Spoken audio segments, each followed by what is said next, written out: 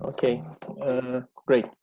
Uh, first of all, uh, hi all, hi uh, Java community. Uh, today we gathered to listen about memory leaks. Uh, but first of all, let me introduce myself. My name is Roman. I have been working at SoftServe for three and a half years. I am I believe, on Senior Pro Software Engineer according to SoftServe classification. Uh, I have some Oracle and uh, Google certificates, but it's not really interesting. Um, I believe we can switch to the first slide because you know some info about me and so on and so forth. Okay, and um, the first slide contains a question. Uh, do we really have memory leaks in Java? Uh, and the answer is uh, kind of easy one. Uh, no, thanks for attention, bye. but um, I'm kidding, and that's why, uh, but I believe that you can receive such an answer from the uh, people that have lack of experience. For example, some tiny Yoda uh, that uh, knows how to write, for example, uh, Hello Force application that definitely contains no memory leaks. Um, okay, uh, but we have some more experienced developer like Obi-Wan Kenobi, and he's forcing Tiny Yoda to think one more time, and the real answer is yes. And here we see some uh, Captain Spock, and he shows the answer at this question with his almost Y-shaped hand, like Y means yes, uh, and tells us that the Force will help us with this problem, uh, but he can definitely be wrong because we will use some other tools. Uh, okay, let's move forward. Uh, we need to know uh, our enemy. And here we have some definition of memory leak. And it tells us that memory leak is a situation when there are some objects present in heap uh, that are no longer used, but the garbage collector is unable to remove them from memory. Uh, I will not stop on Java memory model. Uh, I hope that all of you know at least about garbage collector, stack memory, and heap space, uh, because it's really a huge topic to discuss, and we will need to have additional event to dive into Java memory model, and I believe a separate one for garbage collectors, uh, strat its strategies and evolution, because in Java 10 or 11, I don't remember really, uh, we have an interface for creation of garbage collection, uh, garbage collectors, uh, and some additional implementations like uh, no, no ops epsilon garbage collector and Z garbage collector that guarantees something like 10 milliseconds stop the world time for one terabyte heap. Do we have somebody here who is not familiar with the heap statement? Mm. Silence, I believe all of you know what is heap. Okay, uh, that's why we'll go forward. Um, here I have some picture of describing in theory how the memory leak look like. Um, there are two different types of objects in Java that uh, reside in heap memory, uh, reference objects and unreferenced objects. Uh, reference objects are those who have still active references within the application, uh, and unreferenced objects uh, don't have any active references. Uh, the garbage collector removes unreferenced objects peri periodically, but it never collects the objects that are still being referenced. and this our red zone right here and it is our memory leak problem. Um, this next picture is kind of practical representation of memory leak. I believe that people who had some experience with profilers or defining memory leaks uh, are familiar with such sort of pictures. Uh, the heap memory usage increases during the uh, application running because we're creating new objects. Uh, in some, at some points, garbage collector tried to remove them, and he you know, and has some success, uh, but we are creating more and more objects, and in uh, result we have something like out of memory error. Uh, okay, and it is kind of funny feature uh, to remember because we can associate our memory leak problem with um, Pac-Man that trying to eat all our, memory. Uh, okay, why it is bad? A memory leak uh, is bad because it blocks memory resources and degrades system performance over time. Uh, and if not dealt with the, with this problem, the application will eventually ex exhaust its resources and finally terminating with a fatal out of memory error. Uh, in addition, I want to point your attention to the out of memory error, uh, but I don't want to stop here for a long time. That's why I put a link right here with full description of each type of uh, out of memory error. Uh, I just want you to remember that this error does not necessarily imply a memory leak. Uh, the problem can be as simple as configuration issue uh, and modifying the heap size can fix this problem. Um, you can modify the start heap size and the maximum heap size with such uh, virtual VM parameters, and I put them in the frame uh, because I believe that all Java developers should remember them and know how to use them.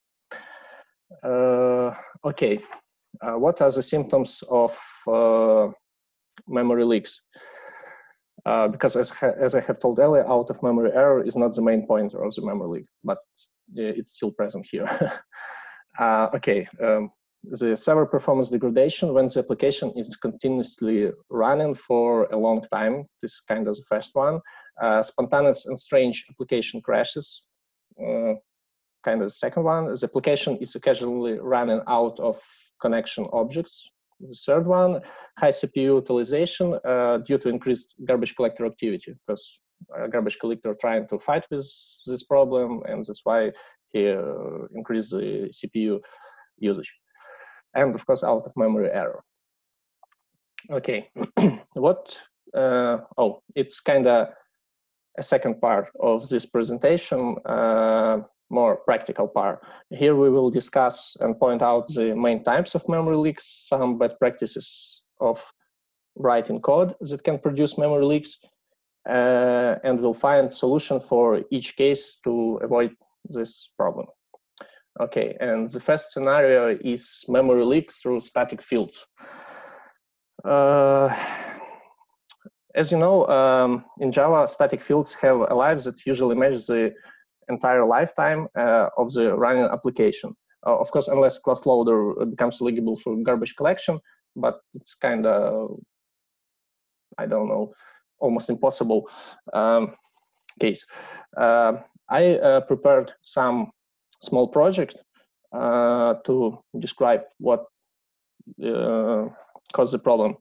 And because of kind of bad imagination for samples, uh, if I uh, I want to say sorry because if some high-level business requirements will be incorrect, ambiguous, or inexplicit, uh, sorry for that. Okay, uh, the program uh, is contains only three classes, like uh, static test. it's kind of entry point. Our favorite public static void main. we have some thread sleep here. It's just to wait until I open VisualVM. It's kind of just sort of delay and uh, some infinite loop to continue uh, tracking our memory after the all code will be executed. Uh, and we have kind of archive class that contains some collection of persons and of course and um, this archive class knows how to work with persons it contains some useful methods and as uh, the bad practice tells us for a huge enterprise project, we should always leave to do comments for future improvements like this. Um, okay, and we also contain some person class like simple POJO, but without getters and setters, uh, never mind. Uh, okay, let's, uh, for um, profiling, I will use VisualVM. It is right, uh, starting. It's right here. Okay, let's try to start our application. I want to point your attention to, uh, oh, sorry. Here should be a static. Um, okay, we have static collection because we should emulate some problem. Uh, let's try to launch this application.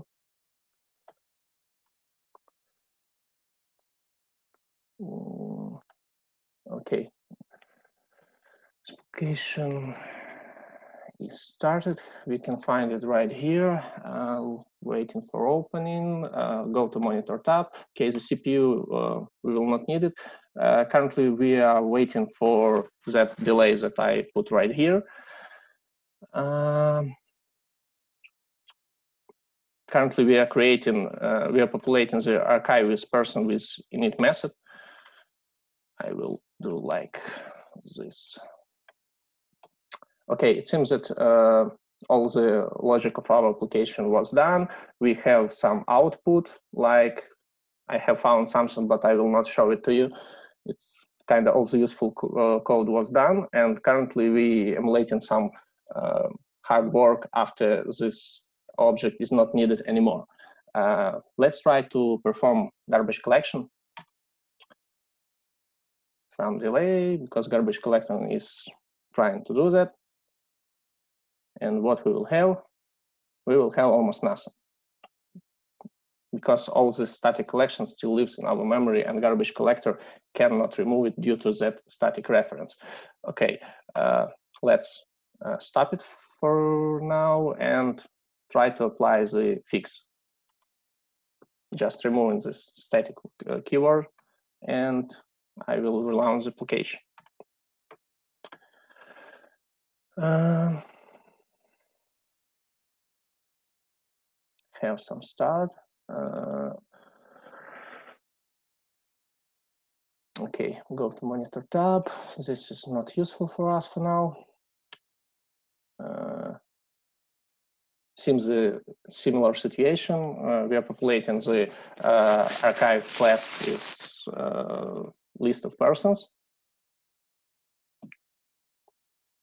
Oh, it seems that all, all persons uh, were created. Uh, let's try to perform some garbage, some garbage collection. And we can see that uh, all this uh, collection with that object was totally removed.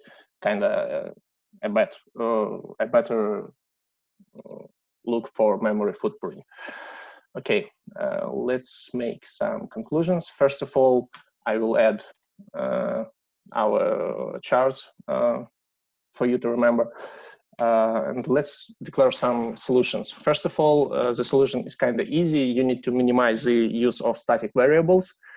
Uh, if you use singleton, because you know that for singletons, uh, you should use some uh, static field declaration, um, but you can uh, use a lazy loading pattern to reduce such situation like I have showed you. And of course, I will add some chart here for just remember in this case. Uh, okay, uh, let's move forward. Uh, I attach here such funny picture just to remember this case because I believe that it is the best illustration of how static reference works it, it due to its uh, due to its pause with clashes, it makes objects uh, uncollectible for garbage collector. Okay, the next problem uh, belongs to equals and hash code. I mean to improper overriding methods. Uh, if we will improper override this method, it will cause it can cause us a lot of problems. I also have some uh, kind of sample. Uh, it contains only uh, some uh, entry point and some simple POJO class. Uh, oh, I'm sorry. can you see the code, or I should uh, increase the size of font? It, it's fine. Oh, okay. Um, what we will do, we will try to uh, put the same object uh, kind of kind of one million times, and we will see what will happen. Okay, I will try to launch this code. Um,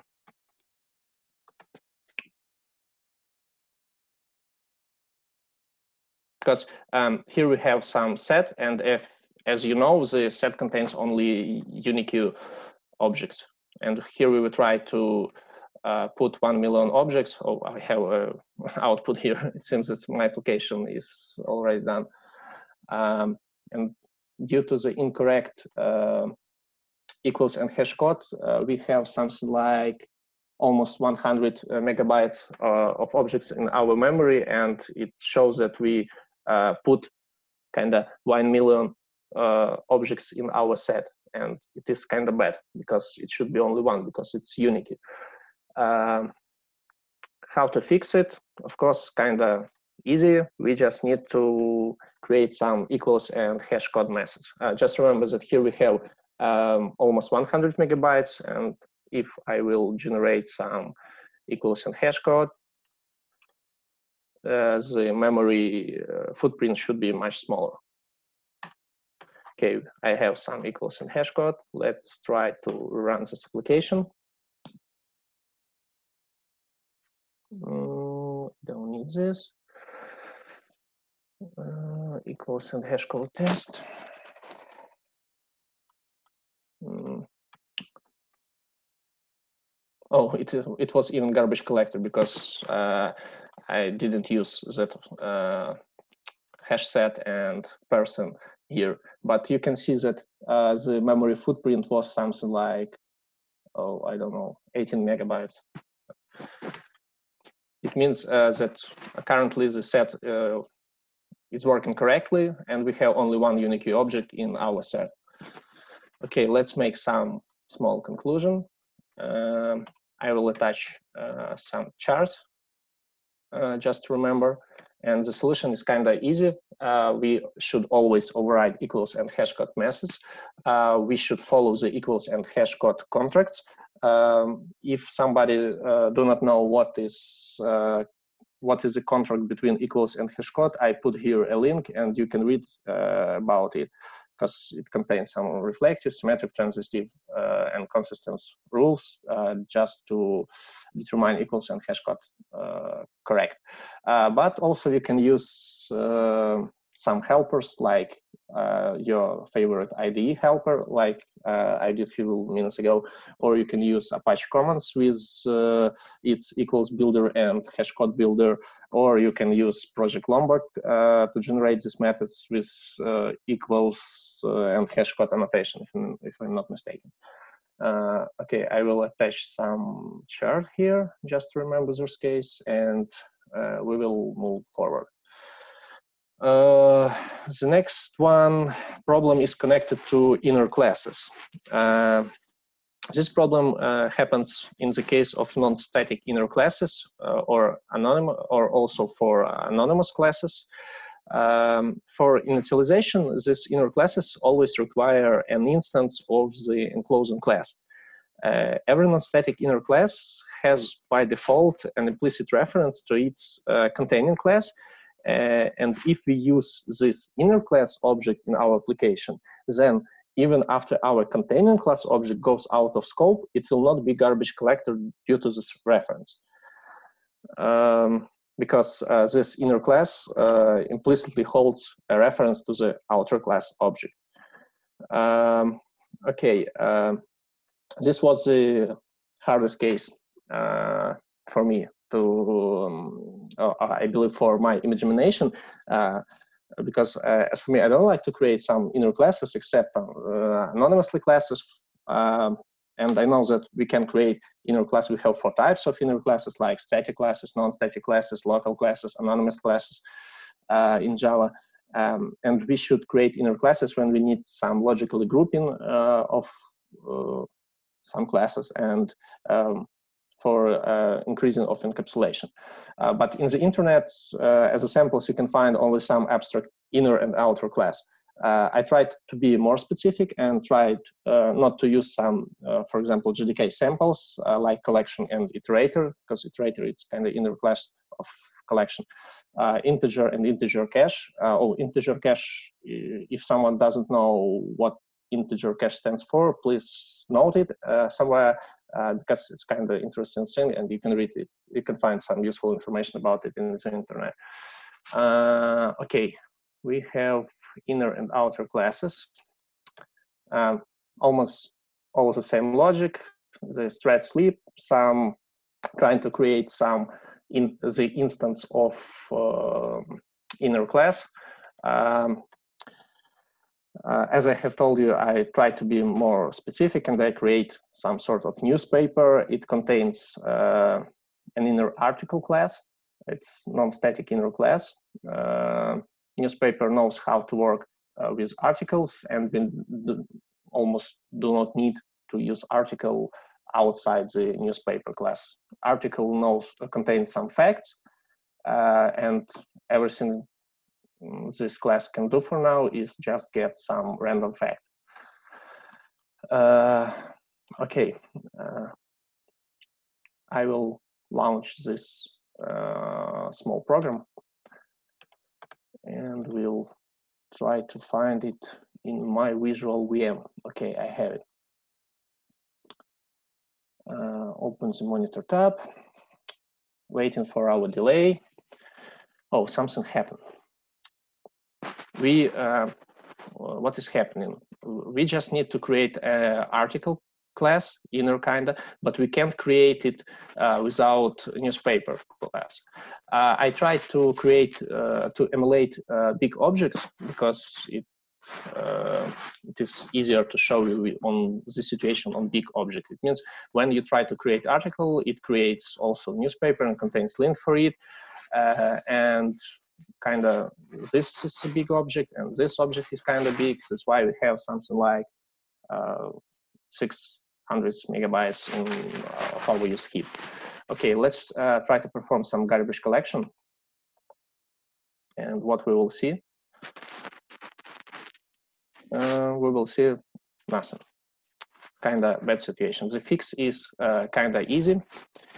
Uh, we just need to make this inner class static. Um, of course, you can use uh, this purpose when you don't need uh, your inner class uh, to have some interaction with uh, private fields of outer class. Mm, let's like here. Okay, let's relaunch it.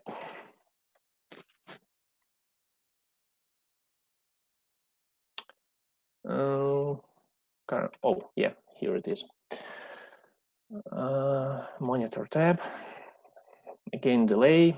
Oh, it seems that we received some output from our uh, article class. It found to us uh, some random fact, and we can see that uh, memory footprint is really small. And we can also try to perform some garbage collection, and it will become even smaller. Okay, this is the case. Let's do some conclusions and add some charts. The first one chart, our problem with non-static inner class, and kind of the solution. Uh, if the inner class does not need access to the containing class members, consider turning it into a static class, because it will cost much more, much, mm, much less uh, heap usage.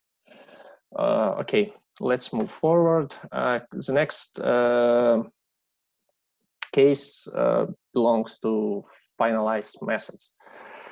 Um, use of finalizers is another source of potential memory leak issues. Um, whenever a class finalize method is overridden, uh, then objects of that class aren't instantly garbage collected.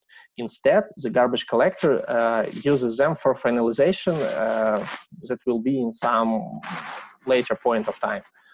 Um, also, if uh, the code written in finalized method is not optimal, uh, I, I believe you have uh, some errors in it or something like this. It can it uh, puts these objects in uh, queue for finalization and it will be there forever until you reach some out of memory error. Uh, I prepared some one more sample for this case. It's kind of here. Uh, also, everything is quite simple. We have some delay. We have some uh, collection of class with finalized method let's check if we, yeah, we do really have some already finalized method. Uh, and we are trying to create something like 100 thousands of such uh, instances. Okay, uh, let's launch our sample.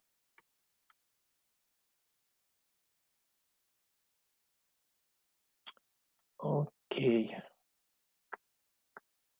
go to monitor tab. This is not needed for us. okay, we have some output. Uh, currently, we have something like almost 100 megabytes of heap usage. Uh, it seems that all of our classes were created. Uh, let's try to perform some garbage collection. You can see that uh, in output, all the finalized method was called, but here we do not have some impact on heap usage. Kind of bad situation. Um, the fix is kind uh, kind of simple as well. Just we do not need to finalize method at all. If you need some finalization, I believe you can find some better strategy. If it is Spring, you can use some post contracts, uh, post const. Oh, have forgotten post remove methods or something like this. I don't remember how they call. Uh, okay. Uh, let's show you that the fix is working. Let's relaunch this application. Oh, sorry, we need to close this and to open this one. Uh, monitor tab. Okay, it seems that we have all the objects uh, created uh, at this point of time, and let's try to perform some garbage collection kind of better situation. Yep. Okay, let's add some charts for this and uh, go to the uh, conclusions. The solution, as I have mentioned, is kind of easy. Avoid finalizer, or you can use Java 9 Plus because finalize method in uh, Java 9 Plus is deprecated and kind of our better situation, uh, just to remember. Let's move forward. Oh, oh, okay. Uh, do you know this guy? Does somebody know this guy? Uh, still silent. Okay, this uh, Joshua Bloch. Uh, is the author of famous in Java community book Effective Java, uh, and he once uh, commented on thread local usage that sloppy use of thread pools in combination with sloppy use of thread locals can cause unintended object retention uh, as can be noted in many places, but placing the blame on thread locals is unwarranted. Um, and he's kind of right as usual. Um, oh, uh, do you know what thread local is used for? Guys, don't be quiet. Yes. Yes. Uh, oh, okay, great. Uh, that's why I will not stop on it. Um, just will stop on the problem. Uh, the problem is uh, when we try to use uh, thread locals in uh, modern solutions, um, and all modern application uh, and solutions contains of pool of threads, not they reuse threads because it's kind of expensive operation to create new thread. That's why they reuse them from the pool. And due to this stuff, or all the thread locals uh, stay uh, connected to the thread forever. And they cannot be garbage collected. That's why the uh, heap memory will be increased uh, in time. And the solution is, uh, I don't have an example for this. Uh, I'm so sorry because I haven't enough time to prepare for this. but I will switch to the solution to show you. Uh, the solution for this case is just uh, every time you, uh, if you want to use some thread local uh, variable, you just need to clean up it. Uh, first of all, um, you can use the uh, finally block statement um, as we use for some resources or whatever. but I want to mention here that do not use thread local set null to clear the value because it doesn't actually clear the value, but will instead uh, look up the map associated with the current thread and set the key value pair uh, as the current thread and uh, null respectively. Okay, uh, let's let's move forward. Another problem is unclosed resources. Kind of, I believe that all of you know about this problem and that all of you saw the possible memory leak warning in your favorite IDE uh, this one is from Eclipse, for example.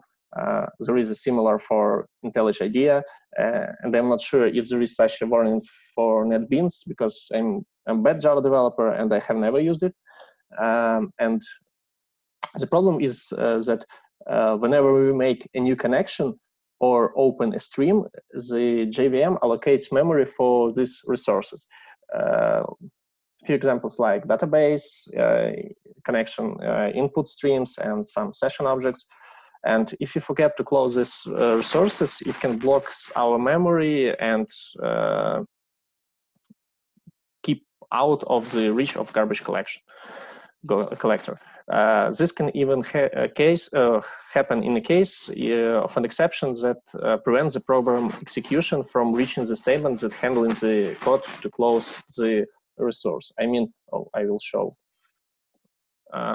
if the except if you have some finally block and the exception will happen right here, uh, and here we have some close statement for our resource. Uh, it will cause uh, also a memory leak problem because the close method was never called. Uh,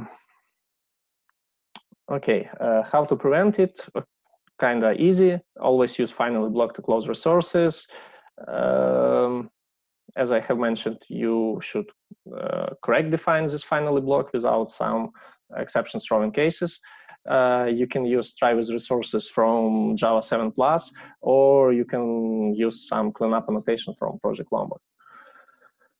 Uh, okay, let's move forward. Uh, another problem is long uh, is connected to internal strings. It's kind of legacy memory leak, but I believe that it worth to know. Um, oh, I will tell a few words about intern method. Um, in Java, when we perform any operation using intern method, it returns a canonical representation for the string object. Uh, when the intern method is executed, then uh, it checks whether the string equals uh, to the string object in the pool or not. Uh, if it is available, then the string from the pool is returned. Otherwise, the string object is added to the pool and the reference to the string object is returned.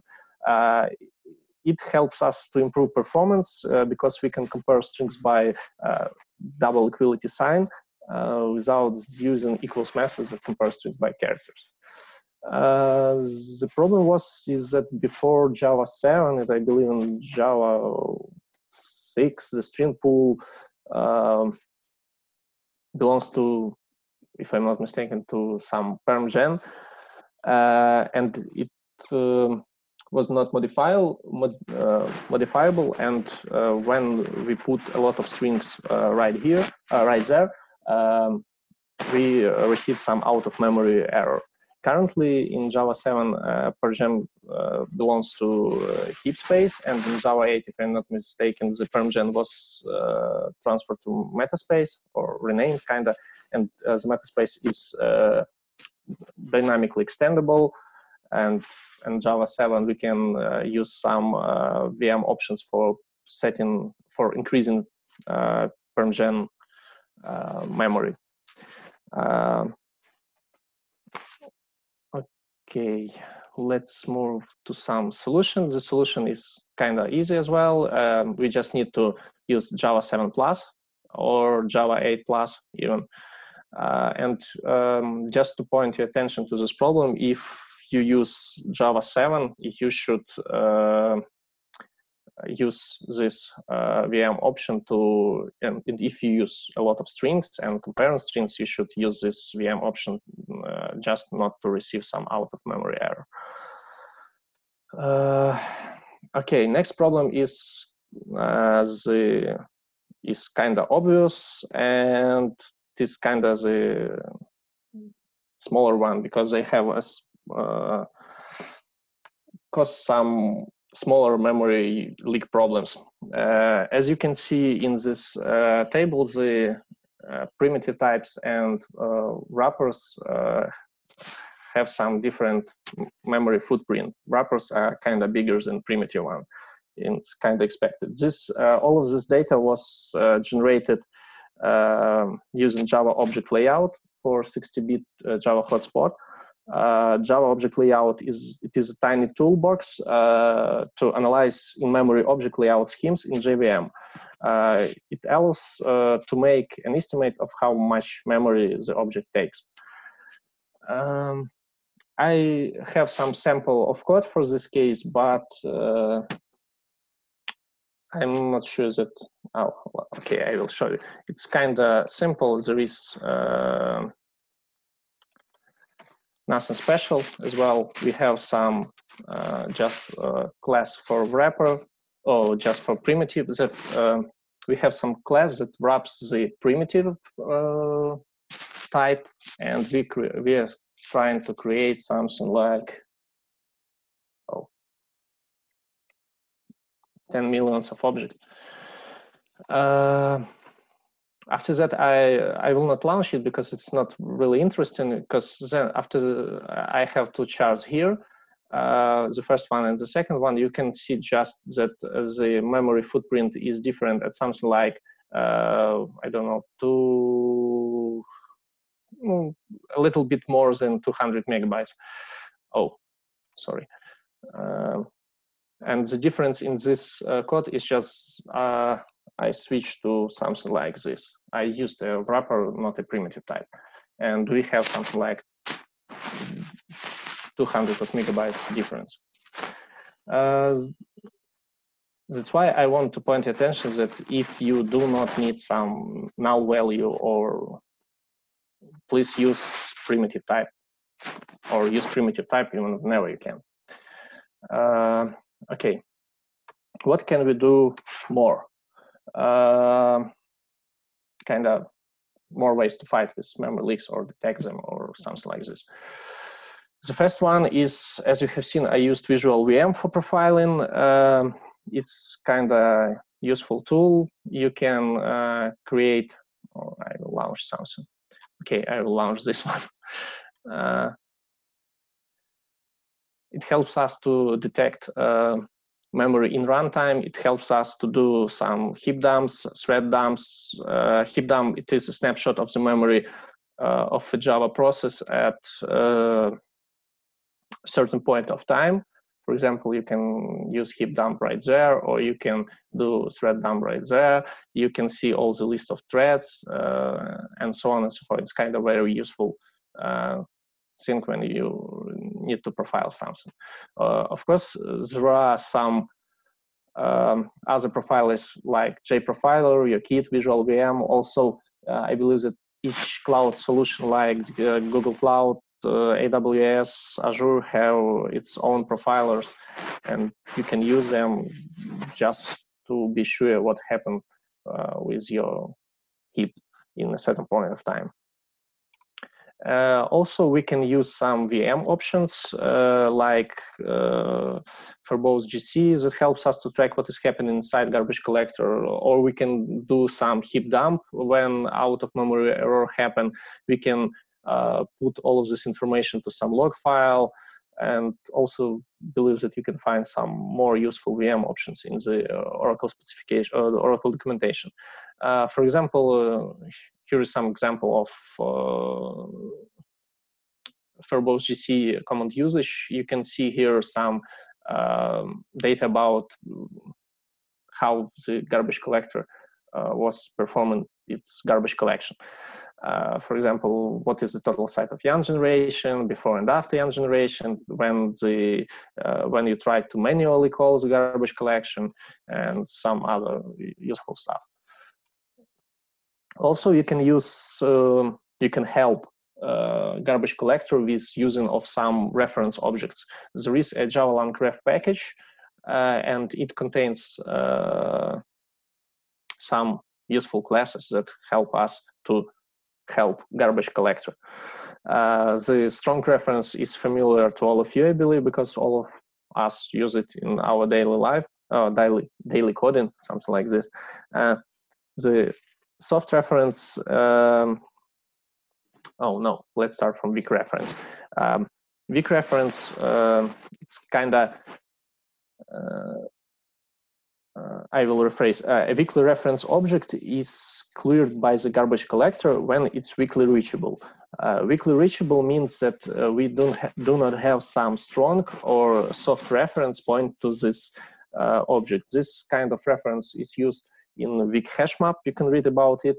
It's kind of funny uh, data structure. Also, I know that weak reference is uh, widely used in uh, listener and publisher problems like uh, lapsed listener problem, for example.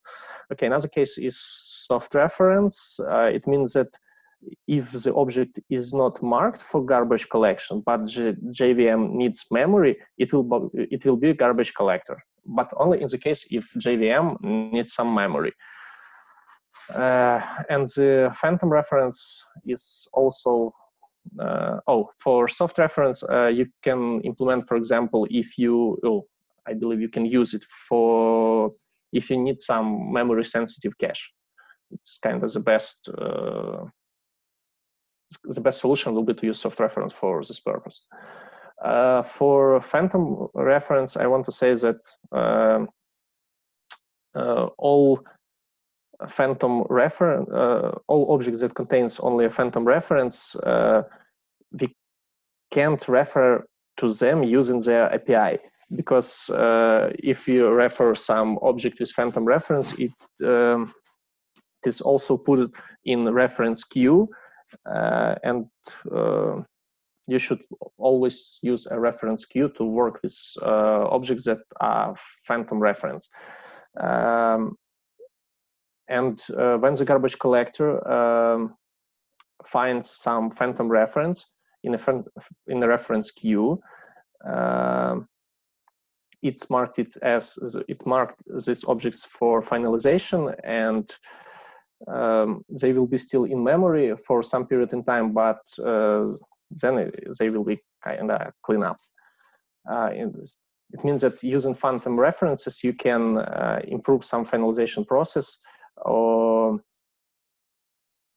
or you can, for example, like if you have some uh, big object that is very hard to construct and you need to utilize it, you can uh, create some sort of functionalities that will um, wait until you totally finalize this kind of big object before um, before you create a new one like this. Uh, okay, let's move forward. Uh, the next one is benchmarking. Uh, we can measure and analyze the Java code's performance by executing benchmarks. This way we can compare the performance of alternative approaches to do the same task and this can help us choose a better approach and may help us to conserve memory. Uh, I I will not add here because kind of clear and kind of good statement. And of course, do not forget about code reviews. Uh, it's kind of a classic old school way of doing a simple code walkthrough. and in some cases, even the trivial looking method can help in eliminating some common memory leaks problems. Uh, as I have mentioned several times, I created a list of some useful memory, oh, memory leaks, sorry, uh, some useful links. Uh, you will um, you can see them when this presentation will be available. Um, okay, kind of question section. Do you have any questions? Oh, yeah. Uh, regarding the uh, static variables, um, how do, do you think it's uh, worth using static in uh, tests or does it make big impact control footprint? Uh, everything I can say for sure is that if you need uh, to put some big uh, some huge collection as a static, it's kind of a bad choice. You should uh, look some sort of uh, uh, cache providers. I don't know, for example, Guava Cache from Google or something like this, but do not put all the objects in kind of huge collection. Um, we usually use mm, static variables to keep some constant strings, but uh, does it make any impact uh, if the uh, strings if are stored in uh, the string um, Not very big impact uh, because uh, all the strings are taken from the st string pool, and I believe that it will not cause some huge impact if it's just a small kind of string strings in a static field. Mm, so basically, it doesn't matter if the string is defined as static or just yeah, final. the, the, uh, you will uh, you will receive a big problem if you want to collect uh, some uh, huge amount of object in a static collection.